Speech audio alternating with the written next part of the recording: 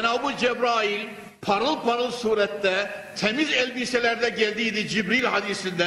Peygamber Efendimiz'e İslam nedir diye sordu. iman nedir diye sordu. Üçüncü soru olarak da وَمَا ihsanu ya Resulallah İhsan nedir diye sordu. Peygamber Efendimiz böyle cevap veriyordu sallallahu aleyhi ve sellem. El ihsanu en ta'budallaha keenneke terahu fe in lem tekun terahu fe innehu yarake. İhsan Allahu Zülcelal'e öyle ibadet edeceksin ki onu görüyorsun gibi. Biliyor musun mümin kardeşim?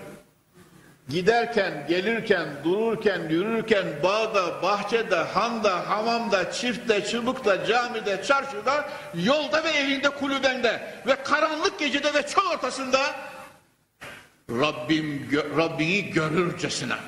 Feillem tekün terahu fe innehu yarak. Eğer sen onu görmüyorsan o seni görüyor. İhsanın ikinci mertebesi, makamı bu. Sen onu görmüyorsan ki ricalullahın halini onlara teslim ediyoruz. Dünyada ancak baş gözü, kalp ve baş gözüyle gören Allah Resulü, evliya ve ricalullah da tecelliyat ve envarını görüyorlar Cenab-ı Hakk'ın.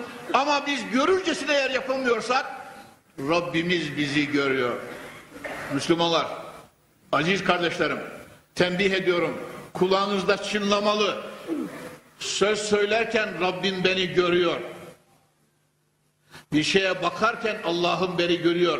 Mahzunlu bir şeye baktık, baktık mı yüzümüz kızarmalı, dilimiz titremeli, ondan çekilmeyiz diye Rabbimiz görüyor çünkü.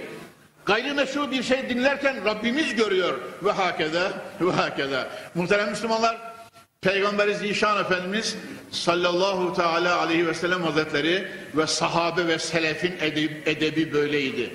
Allah'ı görürcesine Allah'ın kendilerini gördüğüne katiyetle yüzde yüz bin inanarak amellerini ona göre ayarlarlardı.